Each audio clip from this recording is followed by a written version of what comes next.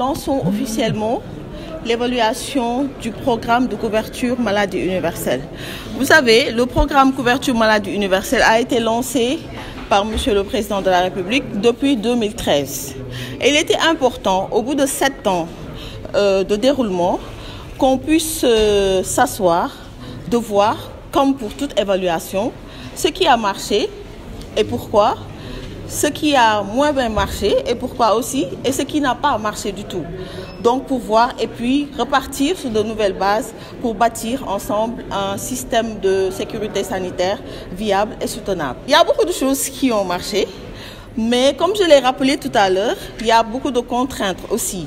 Et vous n'êtes pas sans savoir, euh, on voit tout le temps dans la presse la dette due euh, par l'agence la, par de la CMU aux structures de santé, le ciblage aussi pour les initiatives de gratuité, l'appropriation par les communautés des mutuelles de santé, autant de problèmes, autant de difficultés qui sous-tendent aujourd'hui et qui motivent euh, l'évaluation de, de ce programme. Qu'est-ce qui a changé entre-temps? C'est juste l'ancrage institutionnel de l'agence qui était antérieurement, en tout cas avant la création de ce ministère-là, au niveau du ministère de la Santé.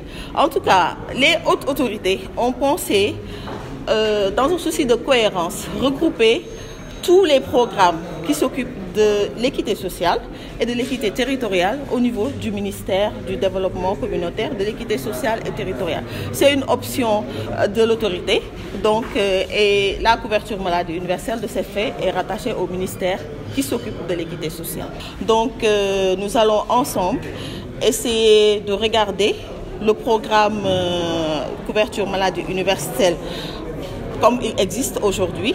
Et nous allons aussi, au bout de cette évaluation, définir des bases qui nous permettront de mieux rendre performant ce programme pour les bénéfices de la population sénégalaise.